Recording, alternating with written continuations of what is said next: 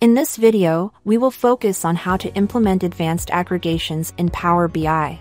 Aggregations specify how a measure is added in relation to one or more dimensions. Consider this sample table shown here. In this table, we simply add the values to get the total for PY sales and revenue fields. For units, we average the values to get the total. And for forecast, we take the maximum value and show it in the total. Power BI provides the flexibility to define aggregations for columns using the summarization property. Note that this can only be done for columns in your tables. For DAX measures, you cannot set aggregations as it is handled by the function itself when it is executed for the total row. Power BI also allows you to override column aggregations at a visual level when you assign a value to it.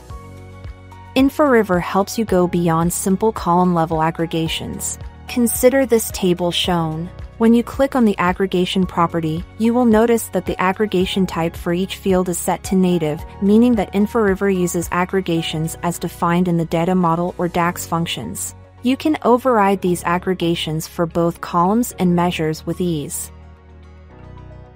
When you work with hierarchies, InfoRiver allows you to define aggregations at a particular parent level.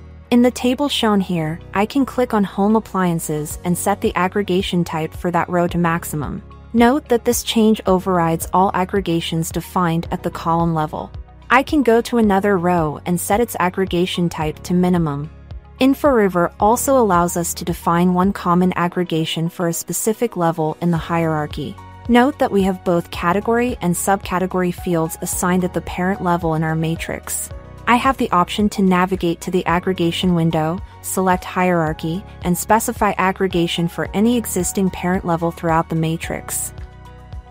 You may be surprised to know that financial statements often require a different type of aggregation. Take this table of expenses for example.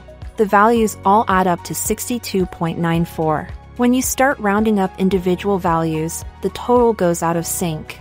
This is fine for a normal table but is not a generally accepted practice when it comes to financial statements. The sum of individual values should consistently equal the total. To accomplish this in your Power BI report, ensure that the aggregation type is configured to visible rounding. InfoRiver ensures that the total exactly matches the sum of the values visible in the rows. Sum it up, InfoRiver goes beyond simple measure level aggregations and provides options to do advanced aggregations for hierarchies and financial statements. To try out how you can implement advanced aggregations, download a copy of InfoRiver at www.inforiver.com/products.